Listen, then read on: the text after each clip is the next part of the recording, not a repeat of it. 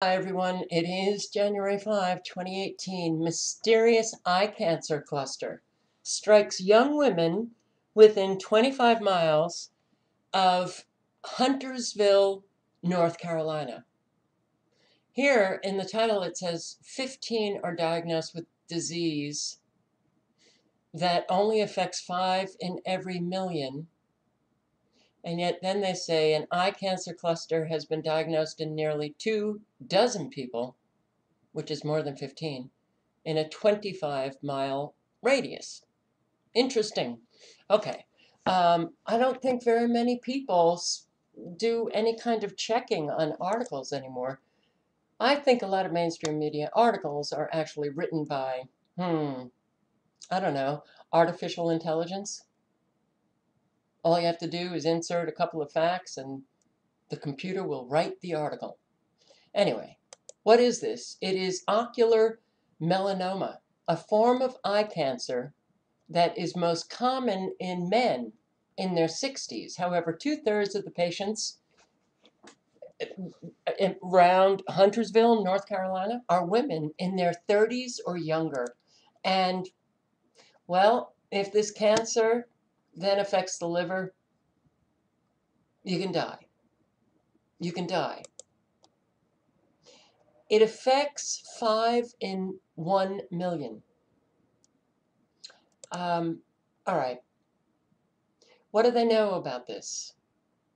They don't know much. Here, an ophthalmologist leading the efforts to find out what's going on in this small town told the Daily Mail online, in all of our studies, we've never found an environmental or genetic factor.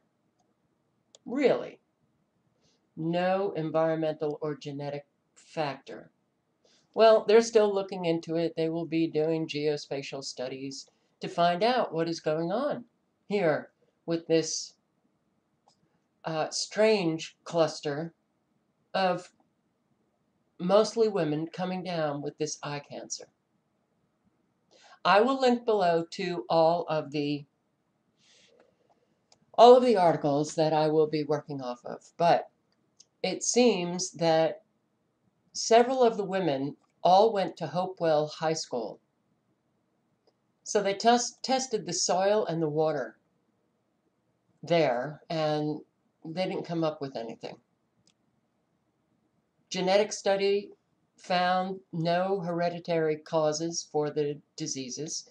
So if there's no hereditary causes, there are certainly environmental causes. And while this article does not mention any of the possible environmental causes, I think, hmm, could it be microwave radiation. So you would think that if it were micro, microwave radiation, we're all in areas with an awful lot of cell phone towers and Gwen towers and all using those devices. What if they turned up the frequencies in this particular area? This is Huntersville, North Carolina. Huntersville, a very small town in North Carolina. And this is how many cell phone towers they have? Really? Wow. Okay. So I did a little research to find out, hmm, what are the ocular effects of microwave electromagnetic radiation? And here, our government knows radio frequency energy has been reported to cause a variety of ocular effects, primarily cataracts. But it also affects the retina, cornea, and other ocular systems. And then as you're reading this abstract, you go right down to the bottom, and our government scientists have said the results of four recent human studies show that there is no clear evidence of an association between radio frequency exposure and ocular cancer. Well, that's not true. It simply is not true. So I will link below to this document that goes into an awful lot of the studies that show that, yeah, mm, sorry, those radio frequencies, researchers, scientists have found that this microwave Wi Fi hell that we are all living in very much has dangerous effects on our eyes, and yes, it can cause cancer. Now, do you think these uh, people who are going to be doing the geospatial study will even bother to look at the numerous cell phone towers and what what levels those cell phone towers are set at, the frequencies that they emit. I'm going to read some of this. Director of the Central Brain Tumor Registry of the United States, Lloyd Morgan. Quote, there is every indication that cell phones cause brain tumors, salivary gland tumors, and eye cancer. Yet, because the cell phone industry provides a substantial pr proportion of research funding, this reality is hidden from the general public. Researchers with the University of Chicago in 1988, the formation of cataracts seem to be related directly to the power of the microwave and the duration of exposure. Eye damage in the microwave age Children are especially susceptible to having their eyes damaged. So, scientists with the Environmental Health Trust, they found two-way radio transceiver systems in the form of smartphones should not be used directly in front of children's eyes and brains. It impairs the eyesight, the eyesight of little kids. It cooks a child's eyes. So keep in mind that upcoming 5G millimeter wave technologies will make possible a tsunami of virtual reality toys for those who do not, do not value their vision. Never before in human history has such a threat against human eyesight been unleashed as it is now um, it is documented that microwave radiation causes serious damage to all parts of the eye at non-thermal levels. And these dangers, it, no one can escape them, but they're especially, especially dangerous for children and infants. Myriad microwave frequencies now range perpetually through the environment, and those induced currents slam through everyone's eye tissues. Studies of people living close to cell tower antennas document widespread complaints about eye and vision abnormalities. The documented pathological effects on human eyes from radiofrequency microwave radiation include eye inflammation and redness, pain or burning in the eyes, a feeling of pressure behind the eyes, floaters, cataracts, deteriorating vision, including macular degeneration and eye cancers. Buildings, vehicles, and aircraft saturated with this radiation are exceptionally hazardous to human eyes. Microwave eye damage may become obvious only months or years after the damage has been inflicted. Okay, so you have children that you give these cell phones to.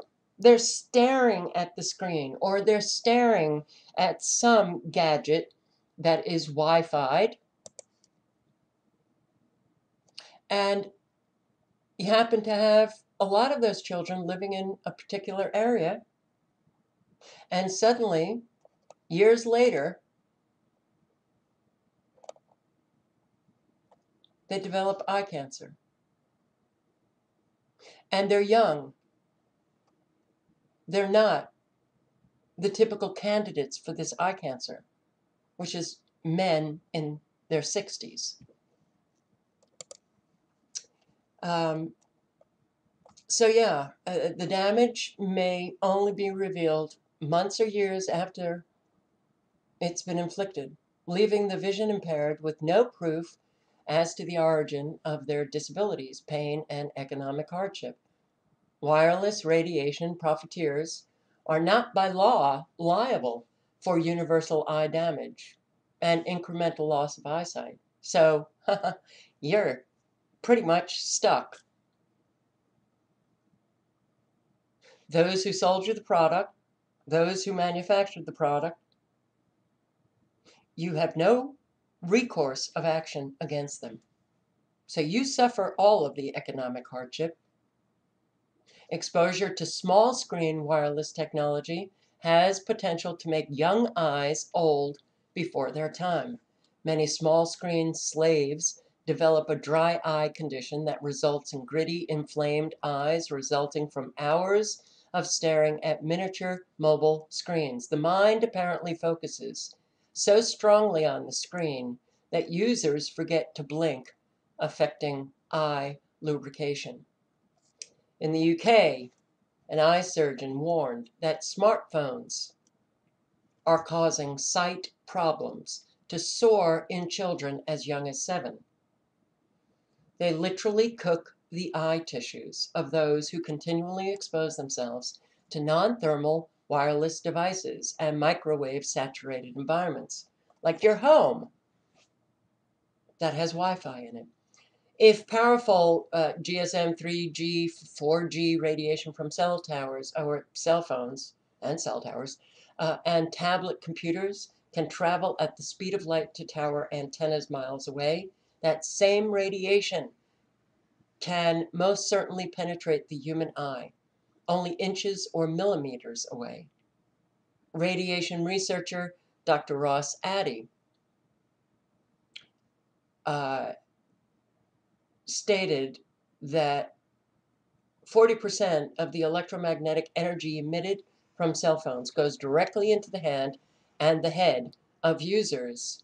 And another researcher, Dr. Gandhi, working at the University of Utah, verified that microwave radiation is delivered deeply into the eye from wireless devices positioned directly against the skull.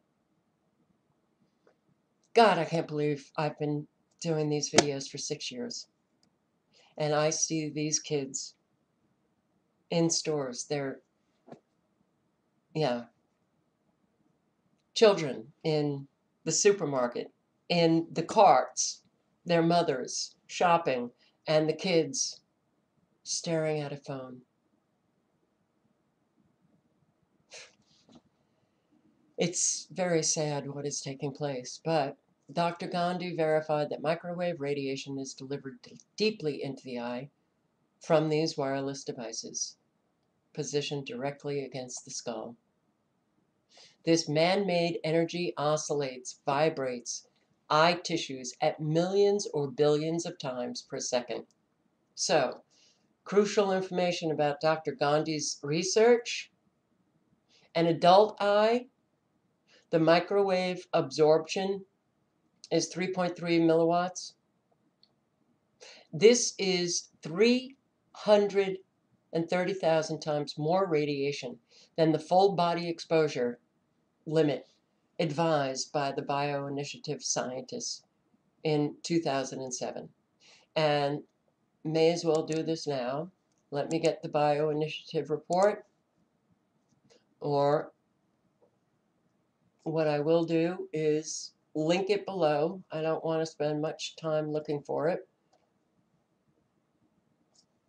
I will link to it below. Should be the first one but it doesn't seem to be. Okay. Um, so, the adult eye, 330,000 times more radiation than those who studied the effects of this radiation have recommended the levels to be. A 10 year old child, 1.8 million times more radiation. A five year old child, 4 million times more radiation than they should be exposed to. A 10 year old absorbs five times more cell phone radiation than adult eyes, and a five year old, they absorb 12 times more radiation. Renowned biomedical researcher at the University of Washington. The effects of radio frequency radiation exposure that could have important implications on cellular telephone use is that on the eye, damage to corneal endothelials, I'm sorry, degenerative changes in the iris and the retina, and altered vision were reported in non human primates. A collaborative study by scientists at the Israel Institute of Technology and the Washington University School of Medicine high frequency microwave electromagnetic radiation from mobile phones and other devices has potential to damage eye tissues. The U.S. government quickly learned during and after World War II that radio frequency microwave radiation permanently damages eye tissues and denigrates eye sight. And a victim may not know for years before they develop inoperable cataracts. U.S. Air Force study in 1994. Clinical studies indicate that exposure to radio frequency microwave radiation causes physiological damage to the eye that can result in loss of sight. It has been observed that irradiation causes the formation of cataracts in the lenses of the eyes.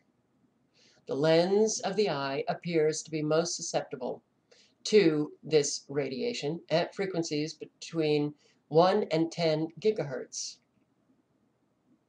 For this frequency range, it has been observed that the lens fibers will suffer irreversible damage to a greater extent than other ocular elements.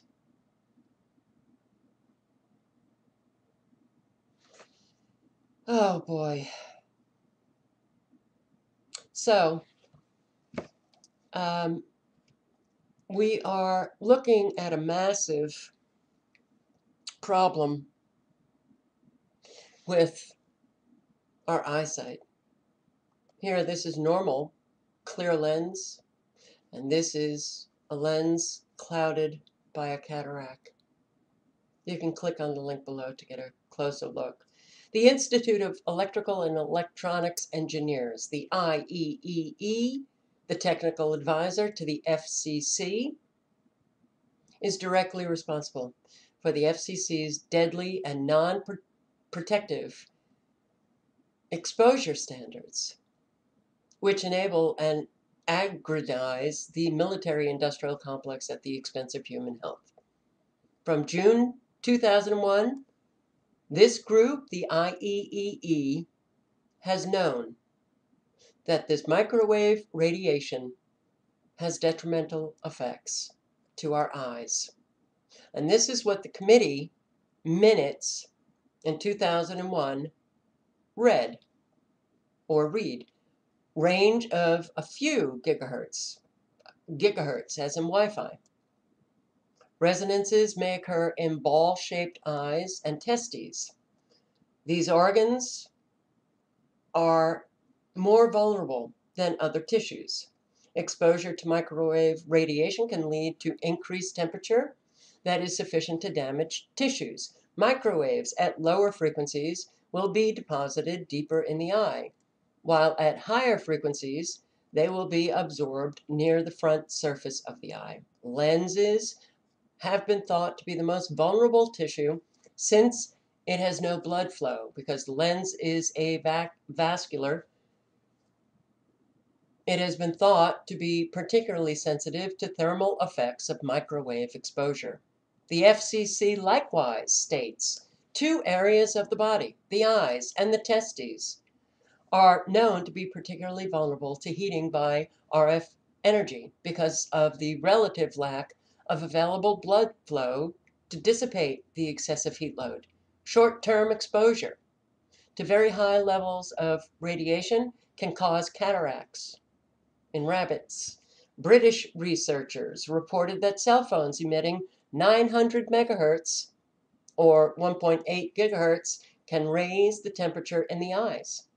by 1.4 degrees.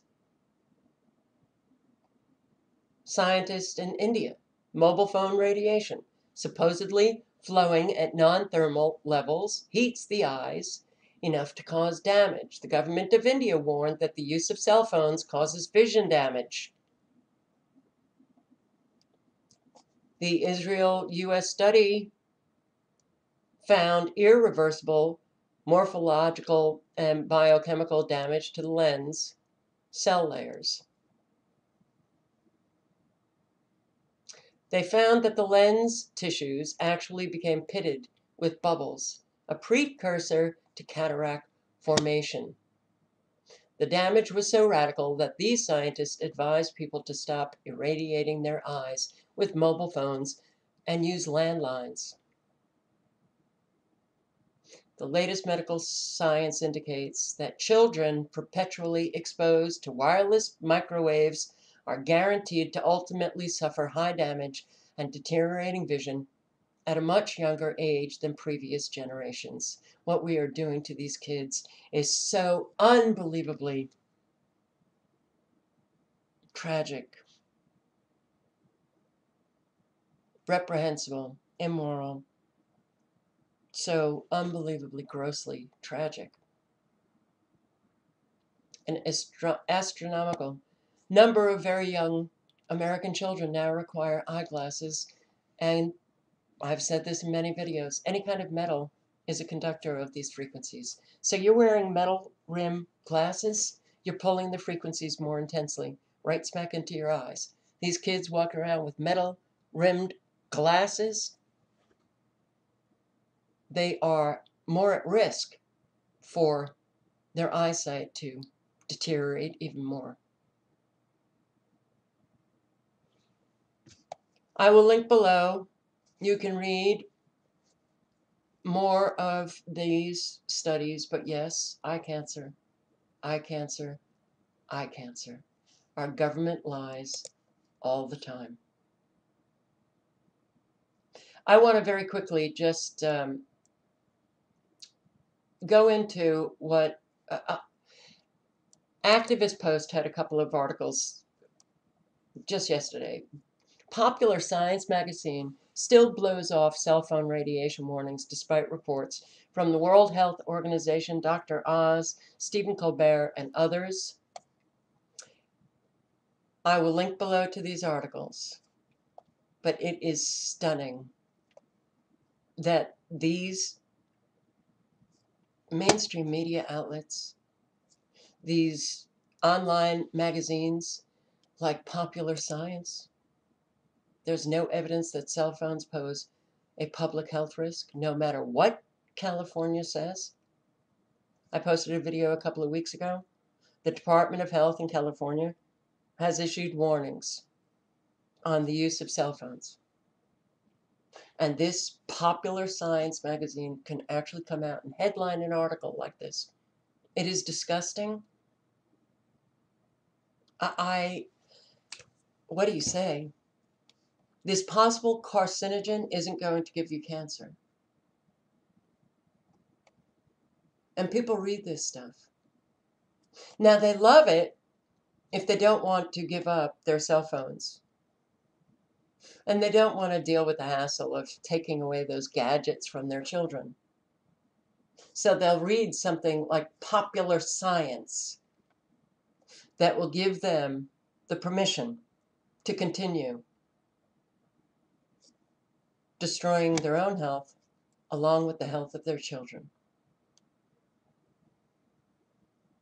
Um, countless studies, countless studies, countless thousands and thousands of peer-reviewed studies show the health risks of this kind of radiation. This is popular science. There's another article on on Activist Post. Um, this posted today. Dear cell phone radiation warning naysayers, methinks thou protest too much. Huffington Post. Huffington Post. It's still hard to figure out what's going on with them. This seems bizarre because the California Department of Health wasn't the first to announce research, advisories, or warnings about cell phone and wireless radiation. In fact, they're so late in the game. There's been research since the 1970s. Research by government scientists or funded by our military that proves this radiation that we are now saturated in causes a myriad of health effects, detrimental. Some of this research was funded by the US government, some was funded by Motorola. Many media sources have reported this over the years. In 2011, the World Health Organization issued a report that cell phone and wireless radiation was a Class 2B possible carcinogen. Even Stephen Colbert came out and said the World Health Organization has found that cell phone radiation is possibly carcinogenic to humans. Possibly? Well, then, I'm possibly crapping in my pants. Love these comedians.